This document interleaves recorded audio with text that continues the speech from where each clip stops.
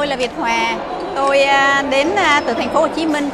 Bất động sản vẫn là một cái kênh mà khá là hấp dẫn với à, những cái chính sách đất của Việt Nam mình thì mình cho rằng vẫn có độ an toàn mà lại sinh lợi tốt hơn những cái kênh đầu tư khác hiện nay trên thị trường.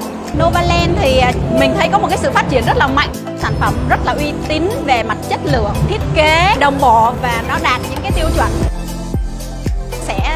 tham gia một cái sản phẩm ở Aqua City. Bởi vì mình cũng rất là thích một cái thành phố ven sông như vậy. Cũng đã đi du lịch ở một à, số nước, ví dụ như là Phần Lan hoặc là Thụy Điển mình thấy có những cái dãy nhà mà ven sông rất là đẹp và thật sự là rất là hiếm để mà có được những cái vị trí như vậy, một cái không gian đô thị rất là trong lành, được xây dựng rất là chuẩn. Mình thấy đúng là một dự án hấp dẫn.